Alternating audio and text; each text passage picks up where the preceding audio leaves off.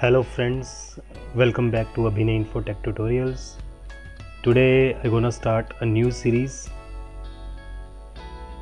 in which I'm going to cover vast topics of C and C++ programming languages. Before starting with C and C++, I recommend you all to subscribe my channel Abhinay Infotech available on YouTube where I also provide tutorials on Excel, entertaining videos, brain tricks, math tricks, and now C and C language in English language as per as demand of foreign subscribers. So, before starting C and C++ series, it is necessary to understand about two major things in the programming languages. There are two things, two languages actually available, two type of generations or classifications available for the languages. One is a kind, one of the kind is low level language and one of them is a yes high level language. So there are basically two type of languages in programming low level and high level languages.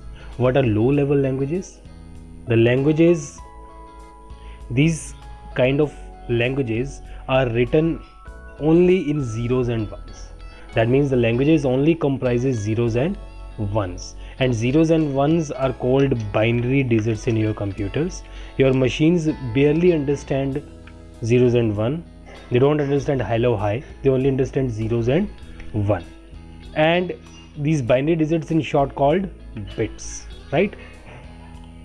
So low level languages also named as machine dependent languages.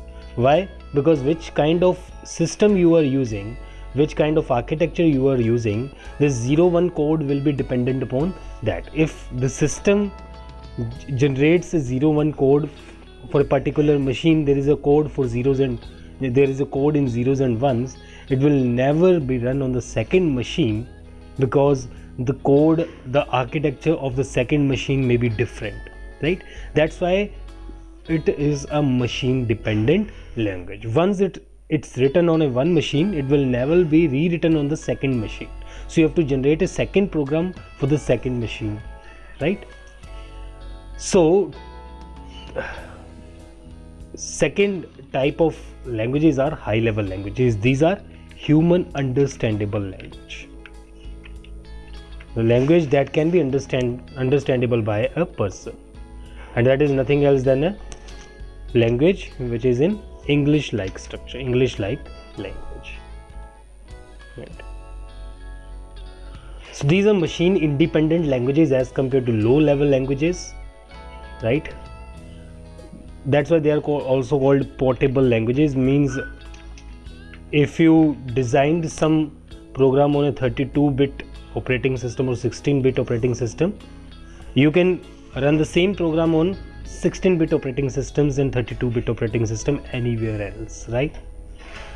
Now what happens behind the scene why low level languages are important or why what are the features of high level languages what are the loopholes in both languages or what are the benefits right? So if there are two persons they want to communicate with each other. Now let us suppose there are basically two persons. One is sender and second person is receiver. One is sending messages and another body is receiving the message on the another end right? Receiver. Now if he want to communicate in a low level language he is sending some message in a low level language like hello. He is sending in some 01 format because we are dealing with the low level language. So on the second side if there is some error or error occurring in between the transportation of data it may be due to uh, malfunctioning of the wire including or it may be due to the breaking up of the wire or it may be due to some virus interferences.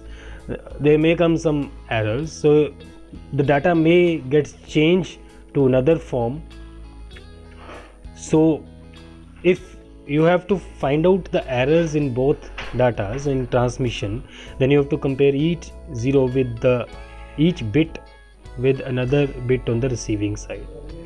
So this will be a troublesome job because you have to compare each bit with the another bit on the right hand side. So debugging is troublesome in low level languages. Debugging is uh, very difficult because the program is in not your language but if on the another side you are messaging your person hello how are you? You are sending some message i'm using sms language. So if you are sending a message hello how are you? and on the second side there is some error and the message receiving by the receiver is hell h r u then it will automatically get intercepted by the receiving side that there may be some error. That's why this bit may be misprinted because this is in your native language. You can understand this language easily. That's why you can easily find out that there may be some mistake while typing the message or there may be some error. So in high level languages debugging is easier.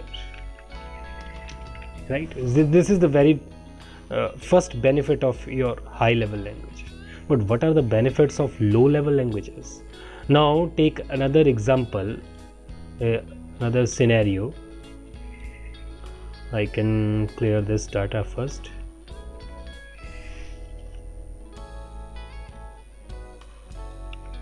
Mm-hmm. now let us suppose there are two persons who want to communicate with each other but sender only comfortable in english language and receiver side person only knows French language. They want to communicate with each other. Now, what is the alternative you can provide? You have to use some third person. There must be some third person who knows both kind of languages. Name it as something like C. Name it as C. Now, let us suppose they want to communicate with each other then they use c to communicate with each other because c knows both languages english as well as french language right? So to communicate with each other they just uh, sender sends the message to this part and this will translate to this one. Or either the message can be retransmitted to this one by the translation one. Now this translation this translator in your programming languages is nothing else than a compiler and interpreter. These are these are two things that are used in programming. And what's their basic function is to translate one language to another language like low to high or high to low side languages. Right? Now take one more example.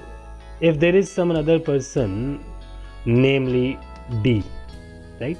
His name is d and he is familiar with which language? English language. Right? And now he is communicating with this sender. Name it as a. And this is b. Now look at both scenarios. Which communication is faster D is communicating with A and A is communicating with B. Who gonna translate his message faster?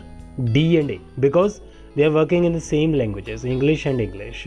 If he want to communicate with uh, B, with B, then he have to translate it first, right? So it is a long process and it is a short process. So when your program is written in low level language, the program will execute faster. The execution become faster why? Because the program is written in low level language and which is understandable by machine also. And that's why the communication becomes faster. So there are basically two features of two languages. One language provides you faster execution and one language provides you debugging process easier. One makes you comfortable in debugging so there are two features of two languages. These both features get adopted by a language. The language which we are going to start is C language. Right? These both features are being adopted by C language. That's why C language also known as middle level language that's why C is a middle level. Most of the users said it is a high level language but it is not in fact a high level language. It is a middle level language because it inherits or obtain the properties of two languages like one is of low level language and one is of high level language. Hope so this tutorial helps you in understanding the very basic of programming language that is C language. In the next tutorial we start the structure of C language why we need header files what is the role of hash include why we use printf what is the syntax of printf which is not available in your textbooks. So this all will be get discussed in next video. Keep in touch with us keep subscribing us and keep commenting so that we can easily understand what are the loopholes in our videos thank you very much subscribe our channel